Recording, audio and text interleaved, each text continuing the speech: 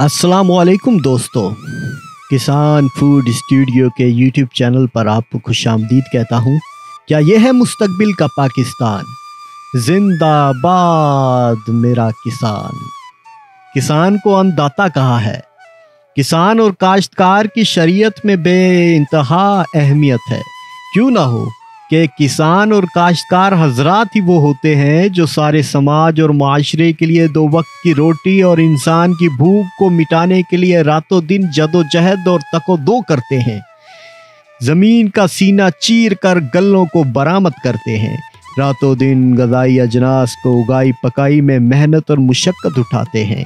ना तो इन्हें सर्दी की कोई परवाह होती है, ना गर्मी का कोई अंदेशा, ना आंधी तूफ़ान का न इनके राह के रोड़े साबित होते हैं, ना बिजलियाँ और तूफ़ान इनके कदमों को रोकती हैं। रात की अंधेरी इनके लिए कोई हर्ज नहीं होती। न तड़के जागना और दिन की तपिश और सख्ती सर्दी भी इनको अपने काम से रोकती है। हर दम अमल, पहम, जदोजहद के वो पैकर होते हैं। खुदा की नेमतों को ज़रिए पैदावार की शक्ल में हर वक्त दरामद करते हैं। इंसानियत की भूखो प्यास का समान करते हैं। रोटी, चावल और दाल, अजनास, फल, फ्रूट की शक्ल में हरदम वो इंसानियत की हयात बका के लिए अपने आप को तज देते हैं। इसलिए कि जो रिस्क हमें पहुँचता है, कि ये इतने आसान, सहल अंदाज में हम तक नहीं पहुंचाता है।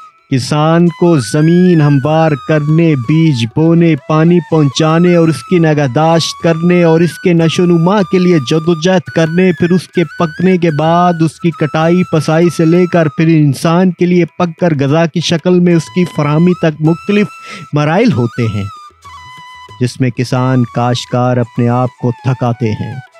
तब कहीं जाकर ये खुदाई नेमतें अजनास जिसको अल्लाह जल जलाल इस ज़मी के अंदर पहना कर रखा है, इस कुदरत खुदाबंदी के मुजाहिर को ज़मीन से चीर कर निकालते हैं।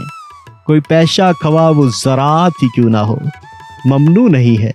अगर अहकाम खुदाबंदी के अदायगी के साथ पैशा को अपनाया जाए, फ़राइज़ व आबादात की तकमील के साथ ज़रूरी मसरूफियात में लगे रहे तो दरअसल ये खुद इबादत है। इंसानियत की खिदमत है। मखलू के खुदा और हर जी रूह के लिए इसकी आसूदगी का सामान फ्राहम करना है। हकीकत में ये किसान और काशकार ही वो होते हैं, जो दरअसल रुए ज़मी में कुदरत खुदाबंदी के मुजाहिर को नुमाया करने में मदद व होते हैं।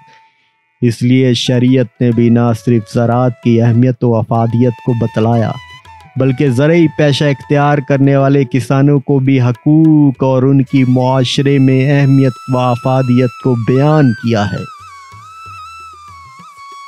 क्या यह है मुस्तबिल का पाकिस्तान? जिंदाबाद मेरा किसान।